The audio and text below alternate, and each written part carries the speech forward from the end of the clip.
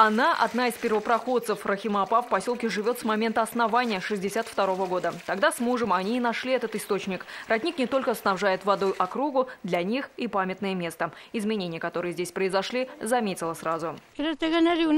Вроде приводили в порядок. Смотрю, камни разобрали. Кому, зачем это надо было? Боимся потерять достопримечательность. В начале ноября обращались к нам в редакцию жители поселка. Их возмутили масштабные строительные работы. Они ведутся во благо, успокоили тогда в администрации. Благом сочли решение поставки питьевой воды. Сколько лет стараемся как бы хотя бы не поднять тариф на холодную воду.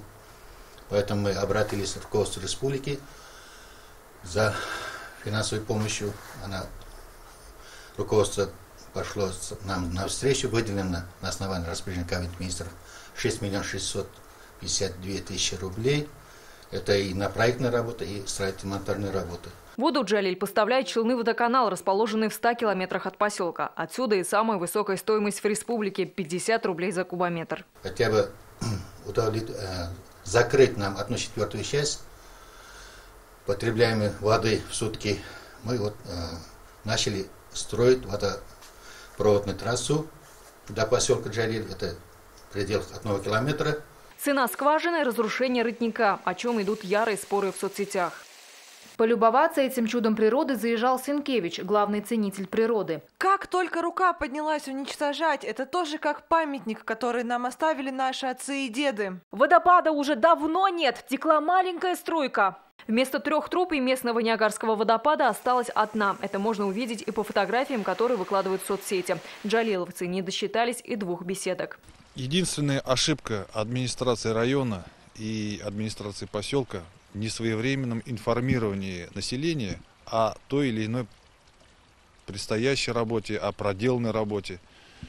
Вот это их единственная ошибка. И не было бы такого резонанса в соцсетях. Вода из родника Трыш пригодна только для питья, отмечают жители. Без фильтров известь приведет в негодность сантехнику. В администрации говорят, родник – только частичное решение проблемы. Работа идет и по другим направлениям. Поиск нового источника, бурение артезианской скважины и субсидирование затрат.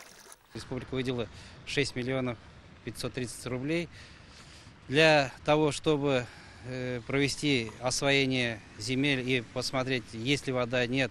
Э, в артезианских скважинах была э, проведена исследовательская работа, и такие скважины есть, но не рядом с поселком, она находится на расстоянии более 20 километров. Из-за этого для того, чтобы освоить эти месторождения, получить проектную документацию, провести анализ – Э, и полностью построить коммуникации, то есть протянуть две ветки до поселка Джалиль, необходима сумма около 600 миллионов рублей. Пока вопрос решается, родник Трэш и уличные колонки остаются альтернативными источниками. С колонок берут воду, как она, потому что она чище идет. Она пешком к нам идет. Да. На недавнем референдуме явка в Джалиле была 60%. Из них 70% проголосовали за благоустройство кладбища, обустройство детских площадок и ремонт колонок. Лейсан Сабирова, Ильшат Аюпов, Альберт Шефигулин, ТНВ, Сармановский район.